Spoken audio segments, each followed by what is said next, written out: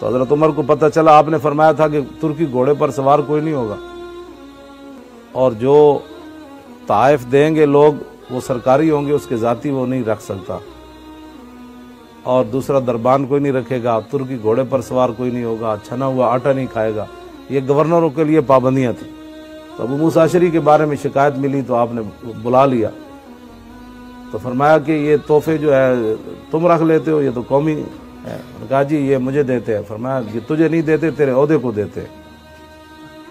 बहरहाल, हज़रत उमर ने उनका वो सारा कुछ कपड़े उतरवा के ना टाट का लिबास पहनाकर बहुत सारी बैतुल माल की बकरियाँ, कोई चार पाँच सौ बकरियाँ आगे लगाई। फरमाया, जाओ जाकर ये चराओ आप। ज़ाहिर उन डंडा भी हाथ में पकड़ाया फरमाया, जाओ, बकरियों को संभालो। तो जब उन्होंने झिझक महसूस की तो फरमाया, तुम्हारे बाप दादा यही काम करते थे। ये तो हजूर की वजह है कि तुम्हें आज गवर्नरी मिल गई। बकरियों पीछे लगा दी काफ़ी अरसा गुजरा तो फिर हज़रत उमर खुद तशरीफ़ ले गए जंगल में। देखा तो एक टीले के साथ हज़रत अबू मूसा शरीफ बैठे हुए हैं और रंग जो है वो जर्द है, बकरियाँ चर रही हैं।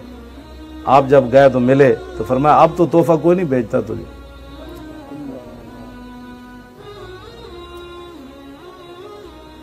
कहा, नहीं, मुझे समझ आ गई है। तो ये पैसे ऐसे ही निकलेंगे जो इस्लाम का निज़ाम है। कि नवाज़ शरीफ को दोबारा भट्टी जो है ना एक भट्टी बनाकर, भाई, लोहा तुम्हारा दादा यहाँ पिघलाता था। एक भट्टी लगा कर दो, बैठो, यहाँ लोहा पिघलाओ तो उसको दूसरे दिन सारे पैसे दे देगा वापस, कहेगा, ठीक है, मेरा दादा तो ये